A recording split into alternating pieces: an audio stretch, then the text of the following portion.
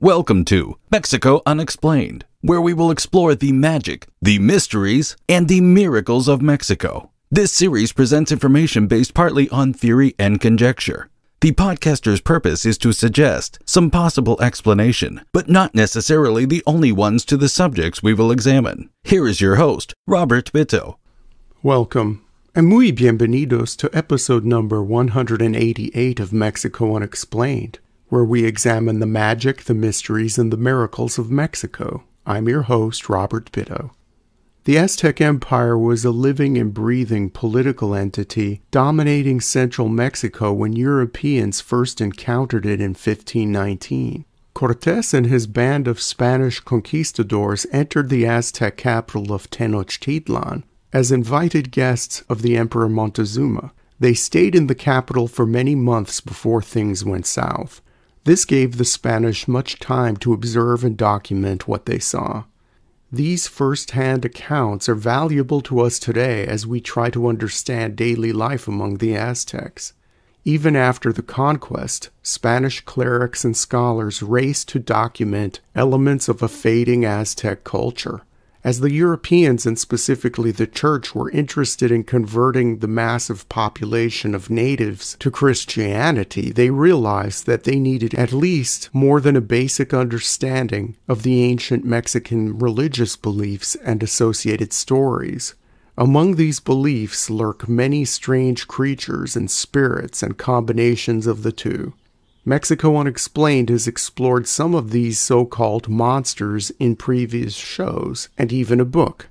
Links to shows about the more famous lake monsters, shape shifting creatures, and other bizarre animals are in the description. There are some other monsters that are not so well known, with very little information about them surviving to the present day. Here are five of them. Number 1. Oxkokoltzec. In 1615, a Franciscan friar, Juan de Torquemada, published a book in Spain titled Monarquia Indiana, or in English, Indian Monarchy. The book was a monumental work chronicling the cultures and histories of many indigenous groups in New Spain. Torquemada was brought to New Spain from Spain as a child sometime in the 1560s, and growing up in colonial Mexico, he had interactions with natives who had experienced life before the conquest. As Torquemada began ministering to the native peoples, he gathered stories of their religion and folklore. In his Indian Monarchy book, the friar mentions a curious monster that terrorized the pre Aztec peoples in central Mexico and was feared for many decades after the Spanish took over. The Oxkokoltzec first appeared among the Toltecs during a festival. Many hundreds of people were dancing, and then this terrible creature suddenly materialized out of thin air. He stood about 10 feet tall and was big and stocky, much like what we would have in our minds as the stereotypical caveman. He had a big forehead, long arms, and wore a loincloth around his midsection. When the Oxkokoltzec appeared and saw the dancers, he smiled a big smile and decided to join in on the festivities. He danced with the Toltecs and enjoyed himself, but because he was big and clumsy, his dancing turned into a horrible scene. Unknowingly, the giant seriously injured and even killed some people while swirling around. So, as not to anger this creature, the officials in charge of the ceremonies continued with the music and dance until the great Oxkokoltzec had his fill of mirth and decided to disappear. The poor Toltecs were left with dozens of people dead. The scene allegedly occurred many times throughout history, and from the time of the Toltecs to just a few generations before Juan de Torquemada wrote his book. Some folklorists and researchers on the more esoteric side have theorized that the happy, simple giant was a thought form or tulpa created by the revelers themselves or was manifested through a combination of music, dancing, and singing that somehow brought the creature into this reality. There have been no reports of sighting of the Oxkokoltzec in modern times. Number 2. Tlacanexquimilli. Sometimes a thick fog would form over Lake Texcoco, the body of water that completely surrounded the Aztec capital of Tenochtitlan. When the city was engulfed in this thick fog, the residents stayed inside their homes for fear of an apparition called the Tlacanexquimilli. This monster was described in early Spanish accounts as a ghost. It sometimes had no legs and dragged itself through the imperial capital by its strong forearms. Some reports say that its head was a small human skull, almost like a shrunken head, with sharp teeth. A drawing from Spanish colonial times made a few decades after the conquest shows just the Tlacanexquimilli's torso, with a neck surrounded with feathers and skinny arms with claws. A simple skull serves as its head.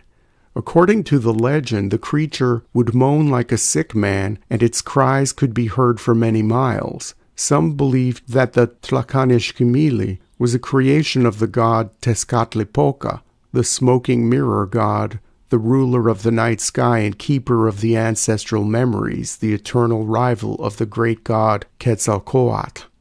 Tezcatlipoca sent the Tlacanexquimilli to Earth to remind humans of their mortality. In the old chronicles, even Emperor Montezuma was afraid of this ghost like creature. According to tradition, whenever anyone heard the sick cries of this evil phantom, old soldiers would be the only ones allowed to confront it, usually before it got a chance to get to the heart of the city. The old soldiers would try to talk to the Tlacanexquimilli and reason with it. The creature would offer the soldiers things they would not want, such as a fistful of cactus spines, and the rejection of its generosity would usually cause the Tlacanexquimilli to retreat, discouraged and sad. While not as menacing as many of the other supernatural creatures of the Aztec, the Tlacanexquimilli usually was a bad omen and came right before a war or plague. Number 3. Yoaltepuztli.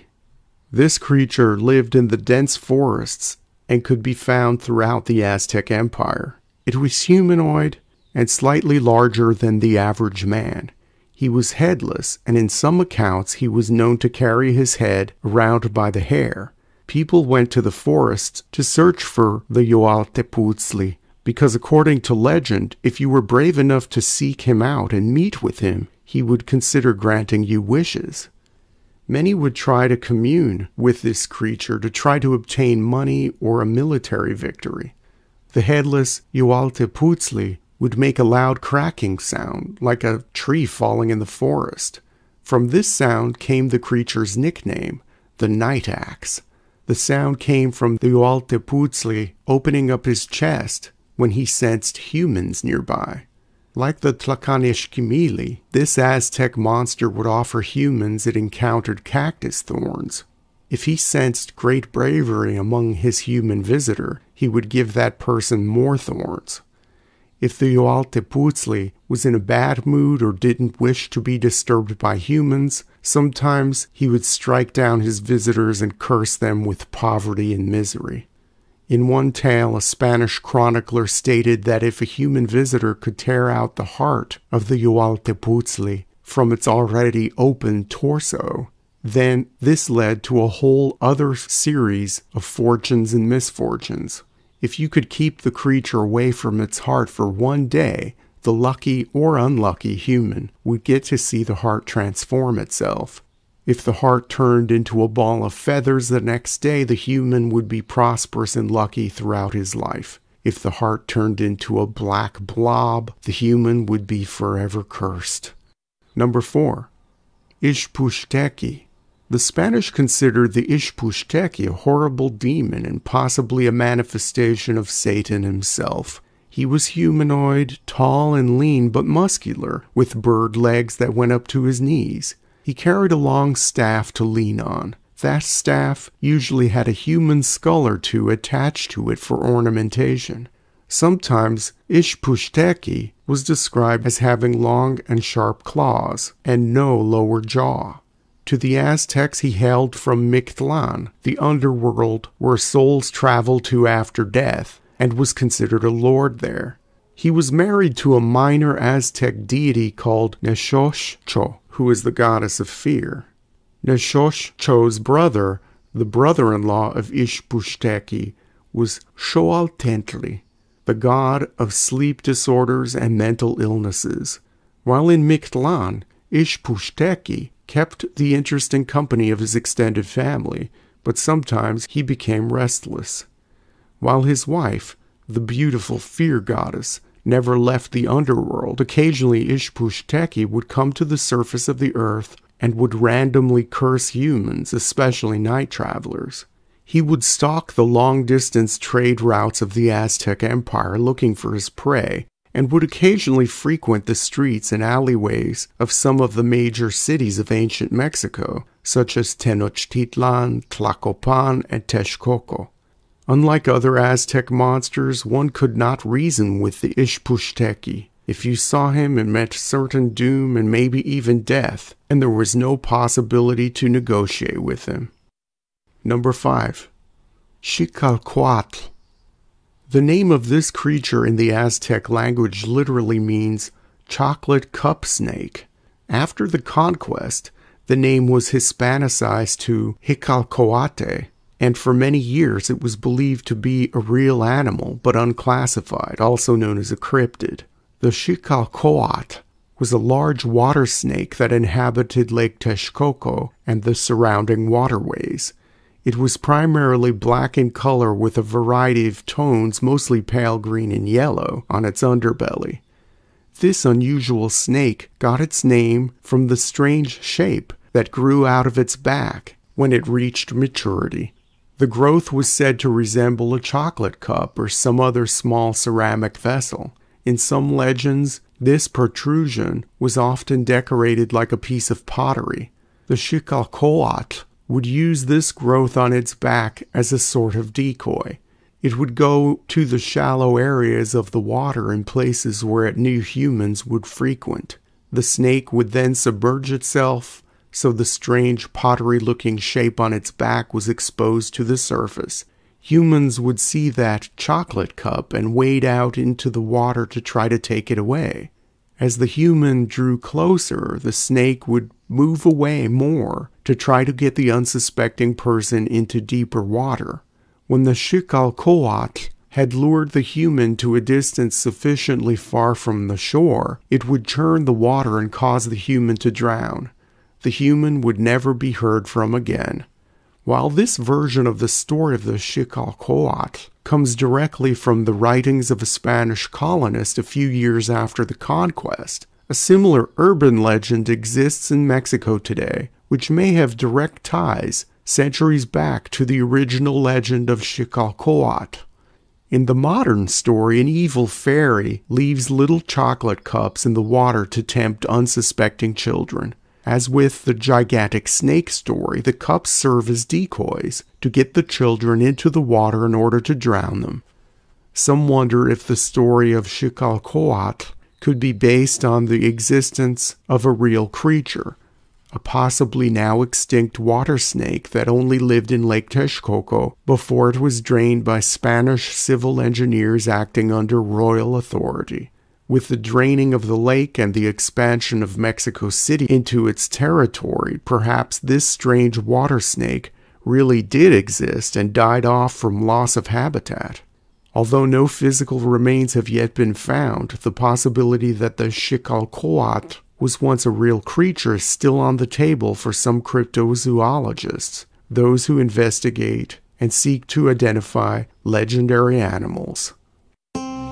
Thank you once again for listening to another episode of Mexico Unexplained. Remember to like and subscribe to us on YouTube and follow us on Twitter. Tell your friends by sharing these shows with others. Please go to our website, MexicoUnexplained.com, for references, illustrations, and for free access to transcripts of past shows. Please visit Amazon.com to purchase the books Mexico Unexplained and Mexican Monsters to get hard copies of The Magic, the Mysteries, and the Miracles of Mexico. We appreciate your kind attention once again. Until next time, thank you and gracias.